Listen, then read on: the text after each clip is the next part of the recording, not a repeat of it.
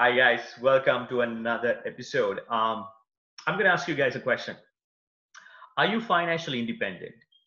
Right. And the other question is, um, and do you know if you're comfortable quitting your full-time job and going for your, um, uh, depending on your passive income? Because we, we always talk about uh, generating passive income and eventually the goal is to quit your regular job and be your own boss as long as you have your financial independence. So that's my question to you. Are you financially independent? And do you do you know when to quit your uh, full-time job, right? How do you know that you're financially independent? That's the million dollar question. At which point do you know? At which point do you figure out, okay, I'm financially independent. I'm good to go. I'm to quit. I'm to just send the resignation letter when I go to the office today and I am done with this and I'm going to be my own boss. But how do you know that? That's the million dollar question. And that's exactly what we're going to talk about today. And the expert is on the other side. And uh, how do you take on that, Quentin? Right. Yeah. Actually, I was thinking I was in the same uh, position, right? Like maybe a few years ago.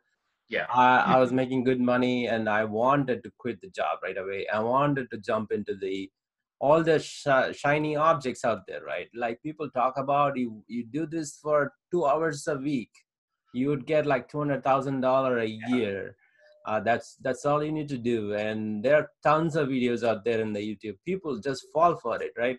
Yeah. Uh, so that's what I was I was about to do it, but because I was trying to assess everything, like what if I could, and then I I lose all these uh, several thousand dollars income every month, every week, right? Uh, and that's coming in. Uh, then I decided I did a lot of assessment.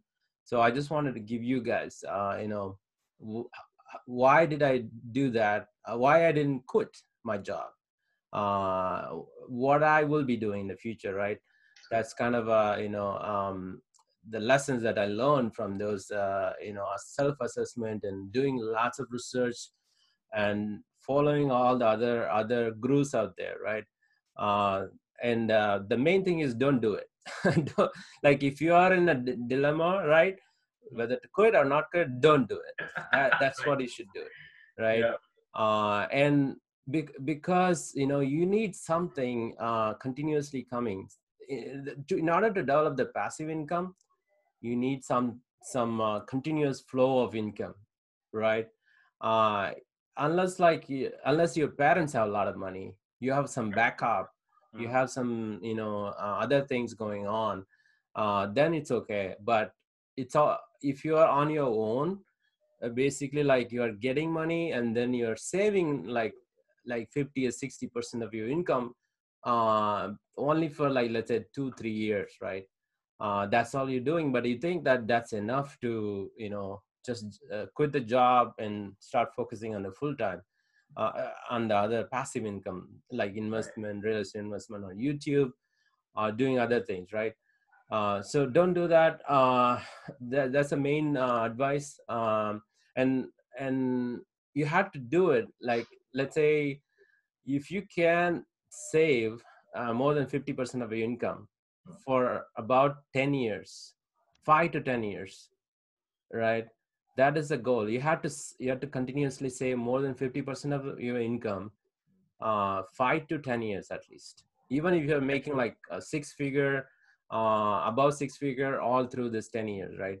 You have to save more than 50% uh, continuously for five to 10 years. So basically what you're saying is uh, if you want if you feel like quitting today or you you may have several things coming in if you're in a dilemma, one number one is uh, don't do it, and number two is it shouldn't be like haphazard, right? Right? You have to be continuously. You, you sh- should have been doing it for a considerable amount of time, so you can be in a position where you can make the call. So your second point is start saving money now, like right now. If you want to quit in five or ten years, start saving now. That's number two, right? Right right and another thing is like uh, stop spending uh, too much money unnecessary spending. Uh, like don't buy like luxury cars uh, maybe if you can buy one if don't buy two two cars or three cars don't do all those things. Just try to be minimalist for those five to ten years whatever you're trying to save right? So that's going to speed up your uh, progress. Uh, that is what i've been doing uh, probably last five years uh, around five years. And on top of that uh, whatever you're say, saving put that in the right investment. Uh, for example real estate like we talk about all the time or index funds or you know something that is more stable that's going to grow at least like 10% every year. Mm-hmm. uh, think about five to 10 years you're saving more than 50% of your income. Uh, the more the better like you know i think uh, some of some of them actually saves like 70 80% of their income. Uh, so if you could get to that 50 to the more like 70% goal uh, savings of your income that's much better.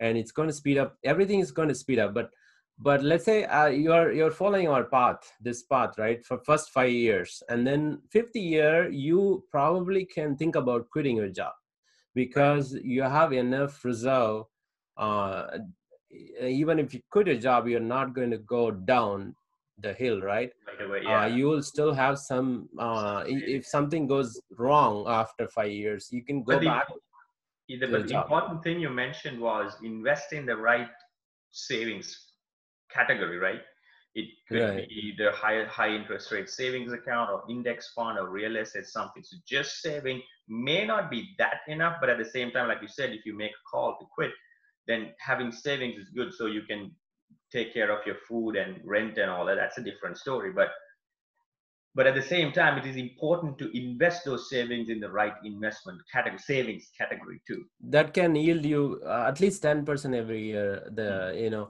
the real estate is going to have like a 5% growth and also you might have a cash flow so right. everything included real estate will definitely have more than 10% right.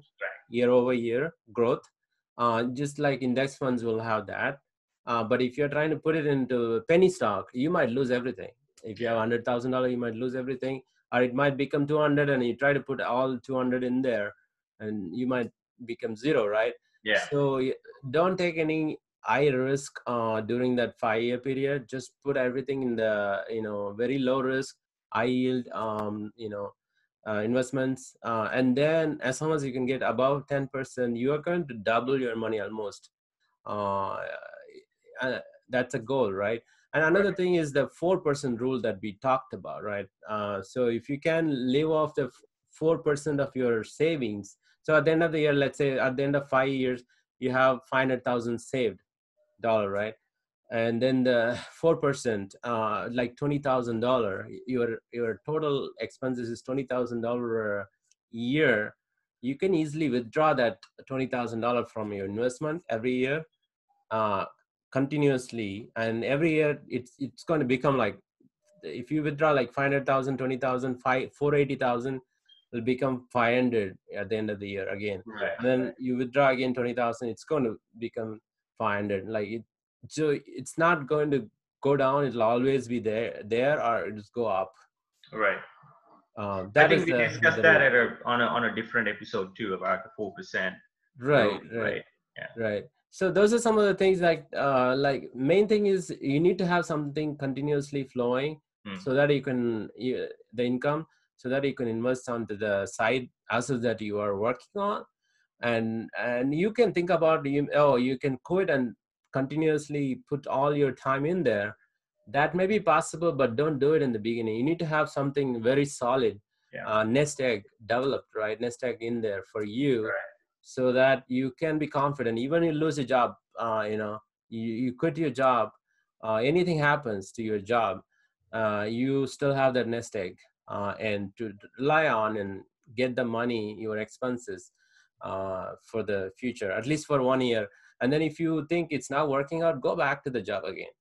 That's people do that yeah. uh, and uh, and like us you can do youtube videos right? Uh, you quit your job but you have other things going on and you're bored uh, you can start doing youtube uh, to make extra money. And, and even uh, like i started off this you know stuffing animal stuffing bear business right? One of the one of the one of the advices given by the operator the, chairman of the company was randy don't quit your job. Let, let's let's give it a shot. Like i know you want to quit your job and you know make this your main income stream but just give it a shot you know for for a few years. That's exactly what he said in his own words. Because you don't know whether because this might be for you or this might not be for you. Who mm-hmm. knows unless you give it a shot right? So i'm glad that i didn't quit. I didn't even want to quit but i, I also wanted to follow the same direction. But that's a good advice that uh, was given by, i mean if if they truly want you to be successful and if you want you to be successful give it a try but without quitting. That's exactly your point like first first point. And also if you're on the fence don't make that call. Right, right. and if you if you haven't taken any point out of this uh, 10 minute video at least take that into heart. You know if you're in two minds don't make the call exactly yeah. Just just follow your heart but uh, follow your gut too. Sometimes you have a gut feeling that you will yeah. be you will be good even if you quit your job so just follow your uh, instincts. Yeah. All right. Thank you guys. Thanks for watching and if you have any further questions let us know by adding a comment in the comment box. Thank you guys